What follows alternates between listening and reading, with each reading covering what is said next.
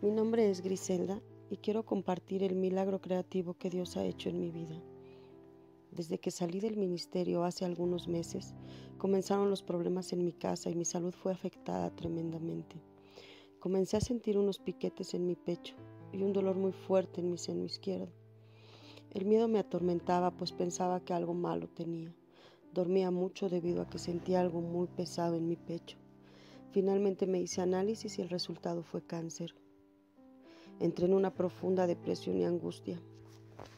Mi hermano José Luis, quien pertenece a este ministerio, me ayudó para creer y confiar en que Dios estaría trayendo sanidad a mi vida. También mi hermana Reina, quien me llamó y oró por mí, me animó a que volviera a acercarme a Dios, a regresar a la iglesia para ser ministrada y comenzar de nuevo. Supe que ella se levantó en ayuno por mí y que en casa de oración había pedido se intercediera por mi sanidad. También me enteré que el discípulo José Luis, quien le ministra, había orado por mí. Fueron muchos los que se levantaron en oración por mí. Le doy toda la gloria a Dios. Finalmente hablé con nuestra amada profeta Wendy Karevic.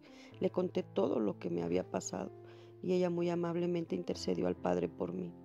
Quiero contar que desde que comenzó la oración Podía sentir como el Espíritu Santo recorría todo mi cuerpo.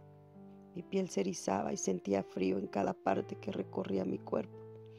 El Señor me removió toda maldición, convirtiendo todo en bendición, y dijo el Señor, hoy he venido a sanarte, porque me has escuchado. Había una voz que te decía, regresa, heme aquí, he venido a quitar toda maldición, Griselda, hay oraciones de los justos que te han alcanzado. Y mi profeta concluyó diciendo, el Señor te ha regalado un seno completamente nuevo. Busca tu milagro. Comencé a tocarme y ya no me dolía. Y sentí como Dios había removido una carga de mí. Familia, hoy quiero testificar que fui a hacer mi análisis nuevamente y me han confirmado que no tengo absolutamente nada. No hay cáncer, Dios me ha sanado y así como el Señor lo dijo, las oraciones de los justos me alcanzaron y ahora soy libre de todo cáncer por la obra y misericordia de Dios. Bienaventurados somos. Toda la gloria y la honra es para Él. Bendigo la vida de mis hermanos José Luis y Reina, también de todos aquellos que oraron en casa de oración y los discípulos. Infinitas gracias a nuestra amada profeta Wendy Karevic por ser la boca de Dios y esa justa que se levantó por sus hijos.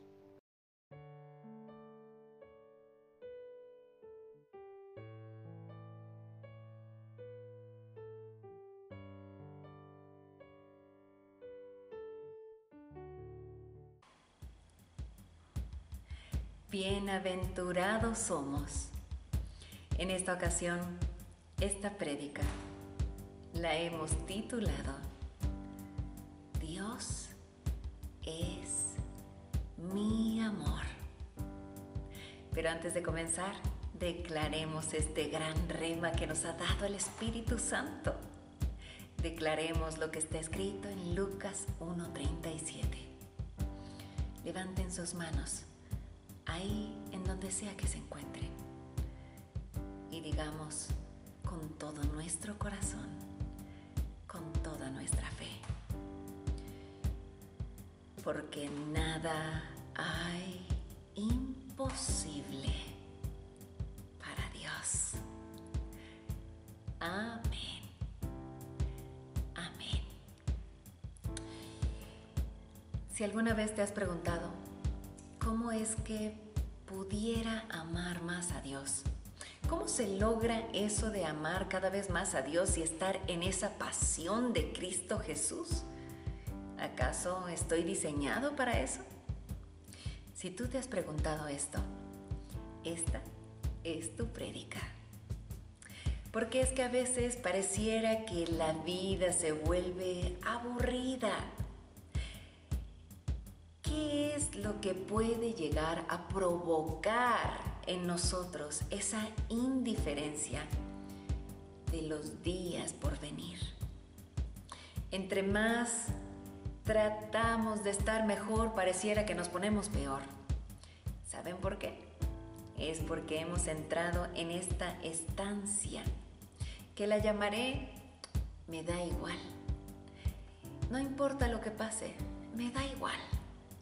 En este lugar de me da igual es como si nuestro cerebro funcionara a media máquina. Ni siquiera el imaginar algo bueno nos puede llegar a inspirar o a motivar para poder levantar ese vuelo nuevamente. Pensamos que nada vale la pena. Resulta ser que estamos siendo amenazados por el enemigo y no tenemos ni siquiera conciencia de eso. En este lugar del me da igual es como si cauterizaran, anestesiaran nuestra conciencia, como si el enemigo comenzara a minar todo nuestro territorio y ni siquiera el darnos cuenta de eso nos hace levantarnos. Es más, estamos tan agotados, tanto física como mentalmente, que ni siquiera pensamos en echar al enemigo. ¿Por qué es que muchas veces terminamos siendo minados por el diablo si se supone que estamos siguiendo a Dios? ¿Acaso estoy leyendo tu mente? ¿Saben por qué sucede esto? ¿Saben por qué a la mayoría de los creyentes en Cristo Jesús, y de hecho muchos, se quedan estacionados como anclados en este lugar? ¿Saben por qué sucede? Es porque pretendemos amar a Dios porque tenemos miedo de ir al infierno o porque Él nos pueda llevar al cielo. Es decir, pretendemos amar a partir del miedo. Pretendemos amar a partir del yo y no a partir del amor de Dios. Es decir, amar a Dios por lo que Él es. Dense cuenta de algo. Dios nos ama no porque tenga miedo de perdernos, tampoco nos ama porque nos hemos ganado su amor. ¿Verdad que no? Dios nos ama porque esa es su esencia, porque Dios es amor. Es decir, nos ama así, así como somos, así como tú eres. Y no estoy predicando acerca del conformismo o que está bien que no cambies o que sigas con ese vicio, fornicación, con todos aquellos pecados. No, no, no, no. Hoy vengo a darte esta noticia. Dios te ama así, así, en este momento, así como tú estás, así, así Él te ama demasiado. Vayamos a Romanos 8 del 38 al 39. Dice, por lo cual estoy seguro de que ni la muerte, ni la vida, ni ángeles, ni principados, ni potestades, ni lo presente, ni lo porvenir, ni lo alto, ni lo profundo, ni ninguna otra cosa creada nos podrá separar del amor de Dios que es en Cristo Jesús, Señor nuestro. Dios nos ama porque Él, Él es amor. Aprendamos a amar a Dios por lo que Él es, sin razón, sin meter nuestra mente. No ames a Dios por lo que Él te pueda dar o por lo que tú tienes o por lo que Él te pueda llegar a quitar, sino por lo que Él es entonces ya no habrá razón lo suficientemente poderosa que te haga desistir o estacionarte en esa estancia del me da igual. El Espíritu Santo me dijo,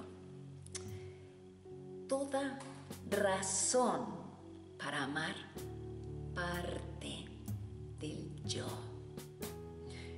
así no se ama a Dios. No se ama a Dios a partir de nuestro yo. Se ama a partir del gran yo soy. Si vamos a primera de Juan 4, del 7 al 9, dice, Amados hijos míos, debemos amarnos unos a otros, porque el amor viene de Dios. Todo, todo el que, el que ama Dios y conoce que el amor de Dios prevalezca en nosotros, porque Dios es amor. Entonces no habrá razón poderosa ni circunstancia adversa que pueda apartarnos de Él, ni enemigo oculto que pueda prosperar en contra de nosotros, porque el poder más grande que hay permanecerá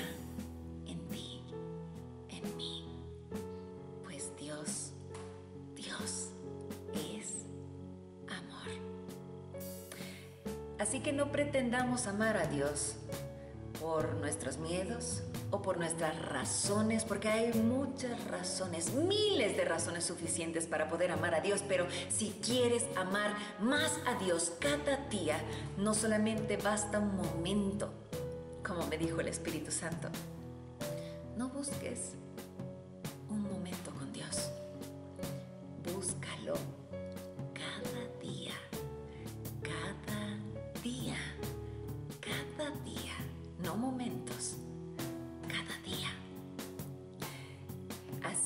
Comenzaremos a amar a Dios cada vez más y más y más y más. Recuerda, ama a Dios sin una razón de ser, sin siquiera una razón de ser, porque Él, Dios, no necesita de nada para poder ser Dios, pues Dios es amor. Asimismo, nosotros vamos a comenzar a amar a Dios como Él ama, porque Él es amor. Si tú en este día anhelas entrar en esta pasión que es desbordante, di conmigo esta oración. Cierra tus ojos y di conmigo.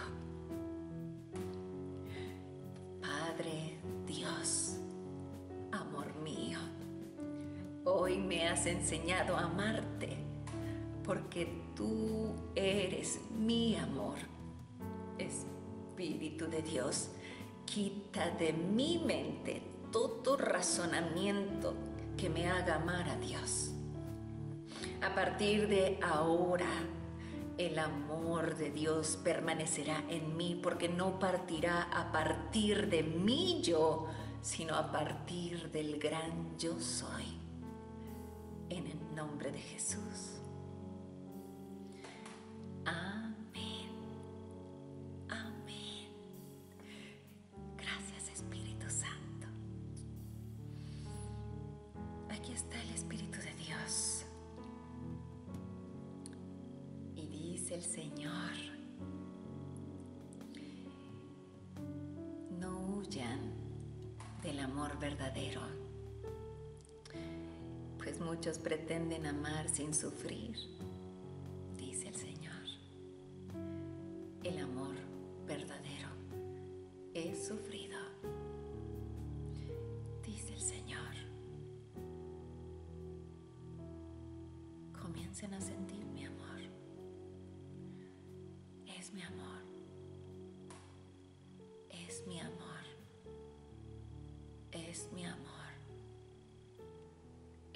Jesús. Es Jesús. Es Jesús. Jesús. Jesús. Jesús. Jesús. Aquí está la presencia de Dios. No le pidas nada hoy a Dios. No te preocupes de nada. Dios está en control de todo. Él es el poder más grande que hay. Él es el que nos da vida. Solo respira profundamente. Recibe. Recibe más de Dios. Lo que estás respirando en este momento es la atmósfera del reino de Dios.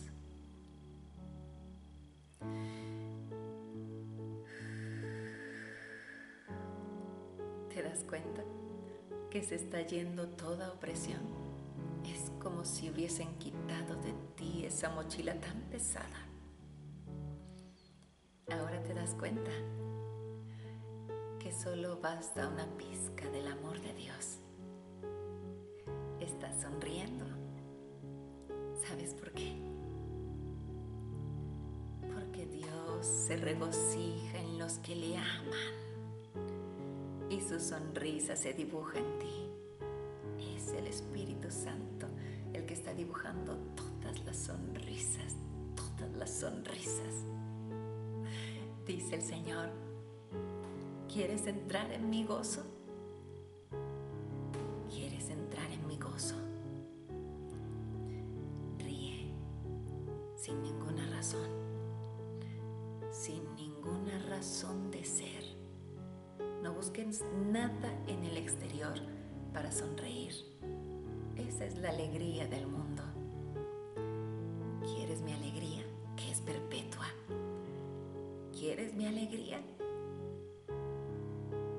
A sonreír sin razón de ser.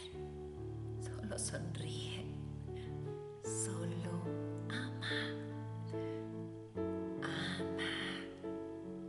ama. estoy viendo cómo Dios está liberando a todos ustedes, inclusive vicios tan arraigados, profundos, tabaquismo, drogadicción, alcoholismo, dependencia a anfetaminas, dependencia a antidepresivos, toda dependencia a lo externo en este momento está siendo arrancada de raíz. ¿Estás viendo su luz? Deja que Dios obre. ¿No lo crees? El Señor. Intentarás fumar de nuevo y te dará tanto asco que vomitarás. Intentarás tomar esa copa y se revolverá tu estómago, porque he arrancado todo vicio, dice el Señor, y he plantado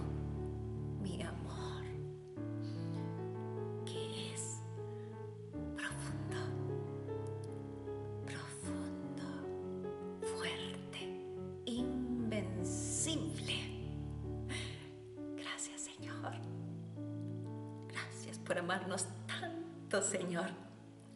Bendito y alabado sea tu nombre, Señor nuestro. Venimos a honrarte.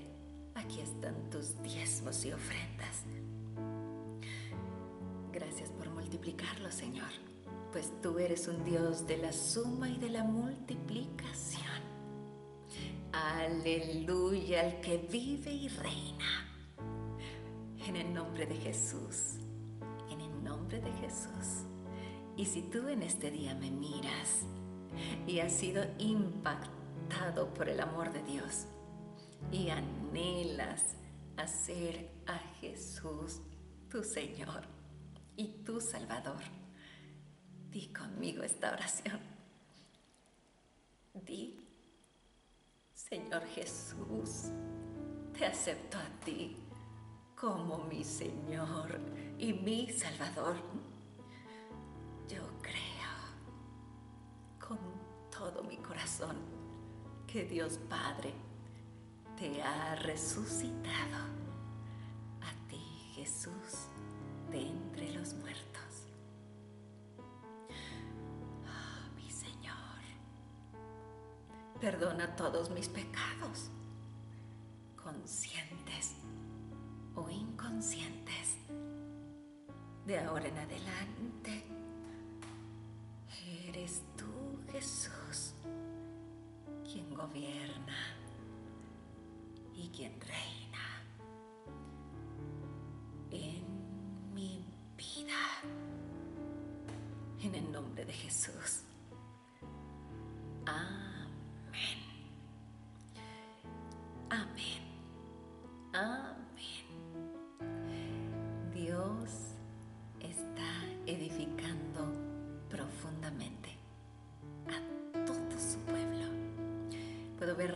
Profundas que Dios está creando en cada árbol de justicia que está plantando en la tierra. Eso somos nosotros. Así que hemos sido bendecidos por Dios. Nos vemos en la próxima prédica. Bendiciones.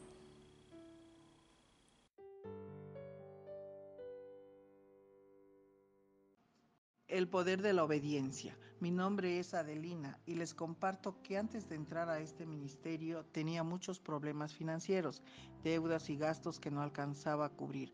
Fue a principios de agosto que comencé a ser ministrada por los discípulos y nuestra amada profeta Wendy Karevic e inicié a obedecer para cerrar las puertas al enemigo. A finales de agosto di mi primer diezmo y, mi ofrenda, creyéndole a Dios que Él estaría trayendo restauración en mis finanzas. Quiero dar testimonio que desde ese entonces el dinero me ha rendido de una manera impresionante. En cuanto llega mi pago, lo primero que hago es pagar mi diezmo y ofrenda.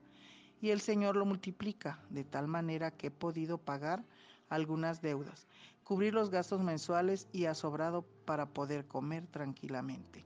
Dios es bueno y fiel, y a Él sea toda la gloria. Alabo a Dios por estar bajo este gran cobertura donde somos edificados constantemente bajo la dirección de nuestro líder espiritual, Wendy Caribic, profeta de Dios, a quien bendigo en el nombre de Jesús.